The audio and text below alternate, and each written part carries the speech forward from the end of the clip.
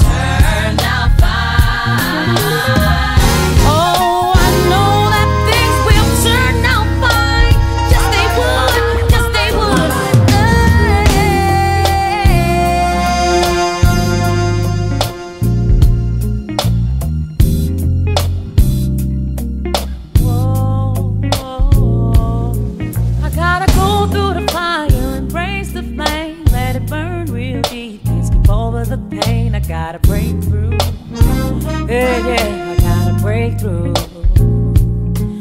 Recognizing the man in the mirror was me that was hurting myself in reality. I had to break through.